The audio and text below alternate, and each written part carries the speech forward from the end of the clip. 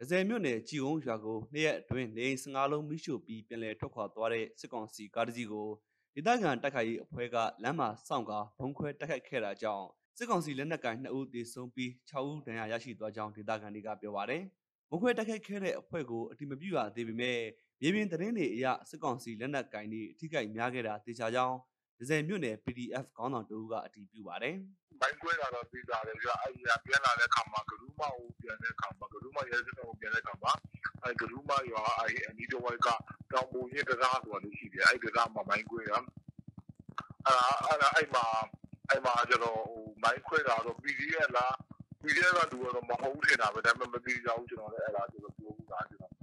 ဟိုအဲ့ရမိုင်းခွဲသွားတယ်ဟိုအနည်းဆုံး6လောက်ရှိတယ်အဲ2ယောက်ကြည့်လို့ကြားရတယ်ဗျာ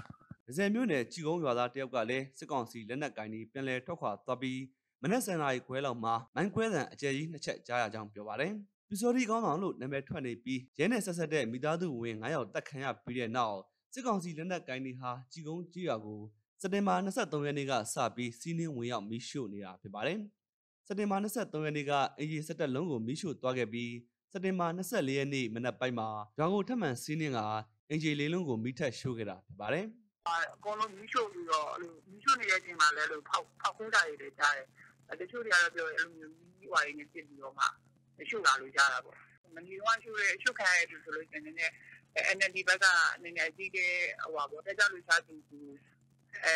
ရွေးအဲ့တော့တော်တော်ပါသွားတယ်။ရွေးချို့တာပဲဒီနေ့ဒီနေ့လည်းအဲ့လိုမျိုးရွေးချို့သွားတာတင်တယ်ဟုတ်ရဲနဲ့အရဲဝတ်လက်နက်ကင်20ကျော်ဟာစက်တင်ဘာ22ရက်နေ့ညက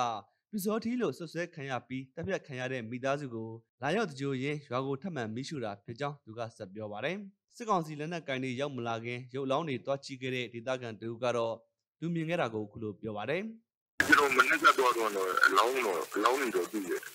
ပြည့်ရတာတော့ကျွန်တော်ကျွန်တော်မျက်မြင်ရှိတော့အဲ့ဒီဟိုသူ့မြောက်ပဲသူလည်းကျန်တာအရာဥက္ကဋ္ဌနဲ့ပြည်နေတာပြည့်နေပြည့်ရလာတော့အဲ့ဒါကျွန်တော်လည်းတာကြီးလည်းပြီးရင်အဲ့ မဲ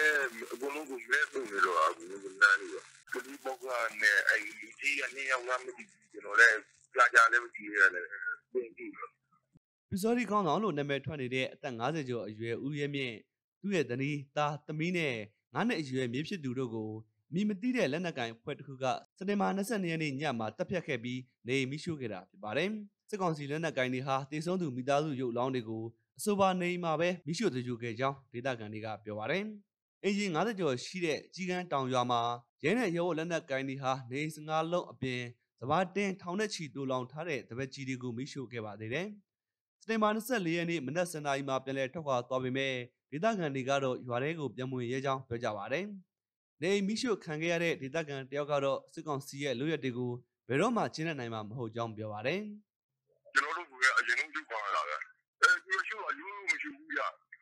အဲ့ဒီမှာပစ္စည်းတွေအကုန်ချပြီးမှရှူတာဒါကျင်တာဒီယူပြီးဒီမှာရှိပြီးရှူတာဒိနေနဲ့တက်လည်းမရှိဘူးကောဒီဒီဒီဒီကချိုးပြီးဆိုလို့ရှိရင်လည်းနိုင်တော့ရင်တော့မဲ့နေရလို့လို့ဘူးတော့ဘူးပြီးရေးချက်ပြီးရှူတာယူမရိုင်းဆိုင်လို့တော့ပါဗျာဒီလေသူ့လည်းအင်းနေတဲ့ဥစ္စာပဲကျွန်တော်တို့ကဒီမှာအိုးအေးချက်သွားပြီးတော့ကျွန်တော်တို့ကမိဖုရားကိုမရှိတော့ဘူးလေလူတိုင်းရနေရကိုမရှိတော့ပါဒီနေ့ကတော့လုံးလုံးမမကြည့်တတ်ပါဘူး လုံးလုံးပါတော့တောင်းပြီးဆိုတော့လူတွေတူရမရှိဘူးပါဒါလေးနေရတာသူကဂိမ်းနဲ့ရှူလာရတာလေအောင်မတော့မကျူးနေရတာ